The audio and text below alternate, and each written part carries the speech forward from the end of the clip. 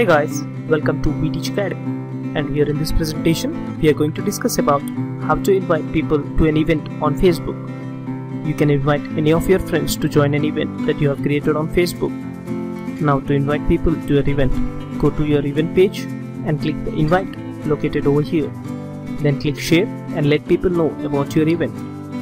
Or you can also choose whom you want to invite. Check the boxes next to the friends you want to invite. And when you're done, click send. An invitation is sent to your selected friends. And when your friend logs into Facebook account, he will see a notification inviting them to the event.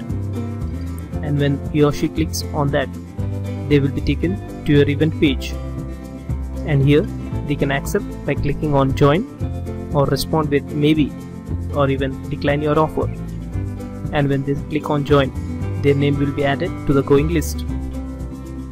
And if they select maybe, their name will be added to maybe list.